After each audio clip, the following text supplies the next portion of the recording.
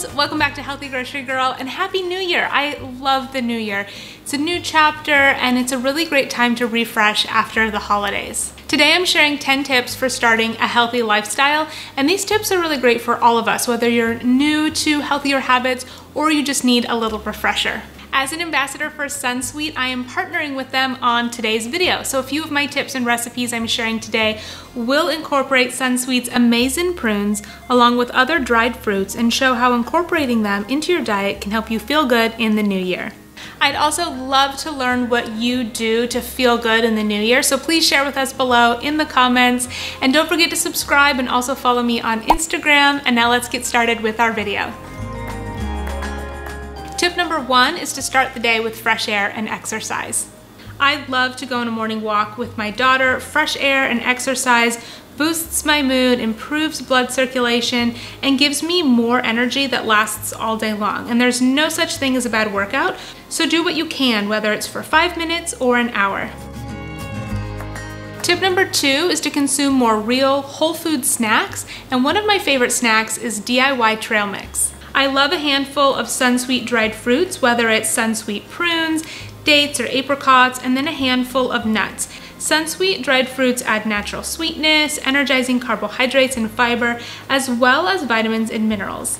Then pair with nuts or seeds such as almonds for protein, fiber, and healthy fats. And this snack will keep you energized and full to avoid an energy crash. And here's a little bonus tip. Studies have shown that eating five to six prunes per day may improve your bone health. Tip number three is that your mental health matters. A healthy lifestyle is not just about drinking green smoothies and going to yoga. How are you doing? How are you feeling? Your emotions, thoughts, concerns, frustrations, and fears, they matter, and you're not alone. If you're struggling in life, through a certain season of waiting or disappointment, stress, fatigue, or worry, the best thing that you can do for your mental health is to share what you're feeling. Talk it out with a trusted friend, family member, or therapist.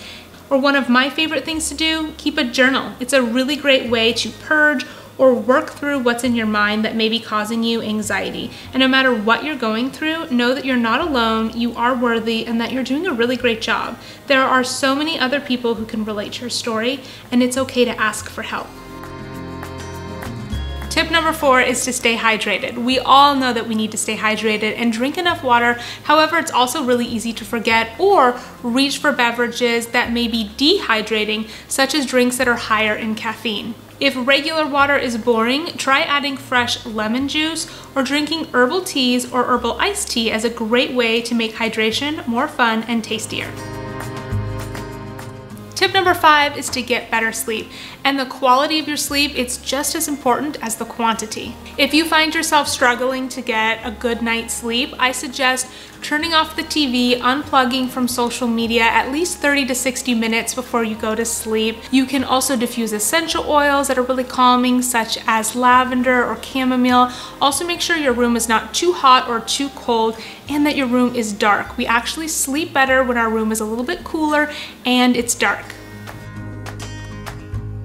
Tip number six is to eat more plant powered. Nutrition is not one size fits all. So whether you eat paleo, keto, whole 30, vegan, plant-based, gluten-free, dairy-free, a diet rich in plant-based foods is truly best to help support you with your short-term and long-term health goals. This is because plant-based foods have antioxidants, vitamins, minerals, and fiber, which can help with things such as digestion, gut health, immunity, and hormone health.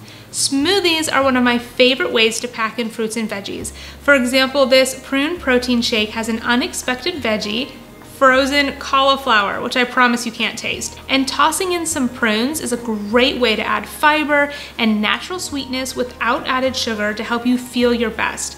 Prunes are also lower in naturally occurring sugars compared to other dried fruits. Here's how you make this prune protein shake. Sunsweet Amazing Prunes, frozen cauliflower, banana, cinnamon, almond butter, protein powder, and coconut milk.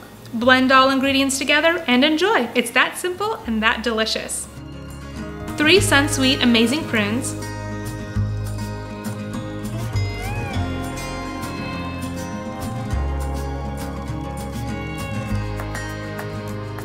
Tip number seven is to spend time alone. Now I know as a mom this can be nearly impossible, however it's so important to carve out some time every single day where you can be alone because when we're able to just be alone in silence, it's really restful and really restoring. So whether that's going on a walk, taking a bath, just sitting quietly enjoying a cup of tea when your little one's napping or after they've gone to sleep at night, implementing a time every single day where you can just be alone, recharge is gonna do wonders for your health.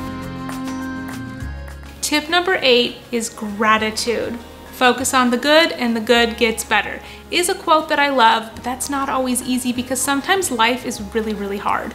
It's so important to honor your feelings, whatever you're going through. If you're grieving, if you're having moments of disappointment or sadness, it's so important to not just brush those off and just say, oh, things will get better. It's important to honor your feelings, feel them for what you're currently going through.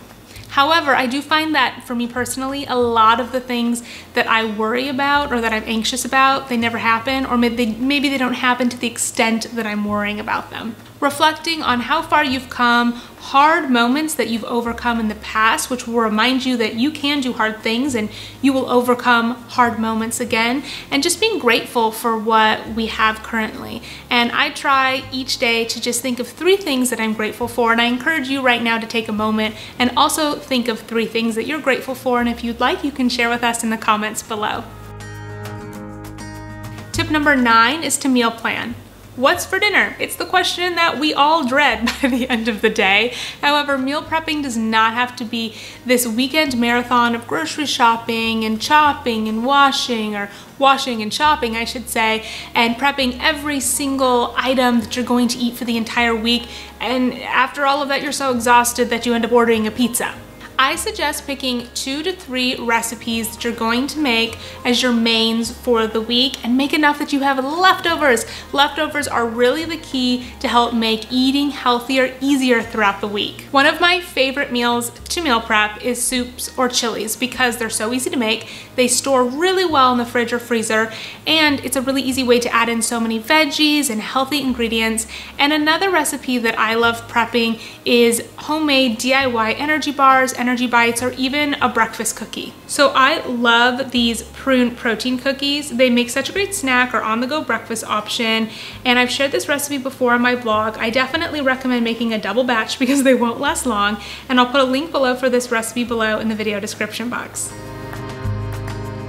Tip number 10 is to get organized. A cluttered, messy home can sometimes contribute to feeling anxious, overwhelmed, or just out of control.